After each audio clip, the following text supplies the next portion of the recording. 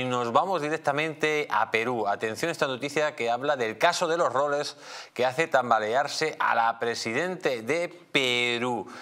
¿Qué habrá pasado con los roles, señor Solaeche? Cuéntenos qué pasa con esos roles que tanto se hablan de ellos. Vamos a ver. Eh, yo tengo uno. A mí me regalaron uno eh, por mi boda. Entonces, la historia de los roles es muy sencilla, señores.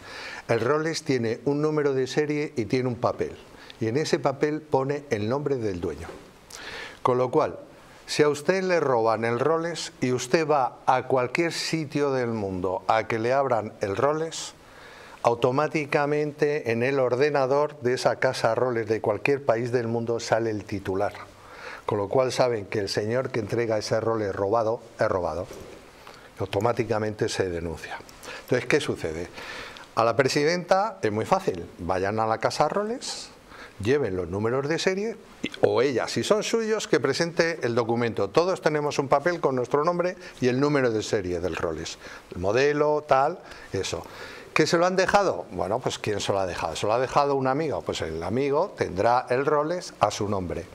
¿Y esto es cómo funciona? Hombre, también hay roles chinos que están muy bien, que dan una imitación maravillosa y que no puede ser. Hombre, 19 roles, a mí me parece una exageración. Puedes tener dos o tres roles con modelos diferentes. 19 roles, me parece que la noticia es, es un poco exagerada.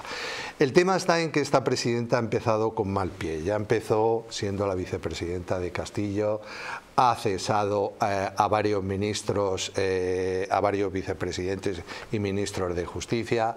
Y entonces estamos viendo que está cuajada de pequeños detalles que, son los que están emponfoñando lo que es su gobierno. No es un gobierno. Perú tiene demasiados problemas como para fijarse si la señora presidenta tiene 19 roles.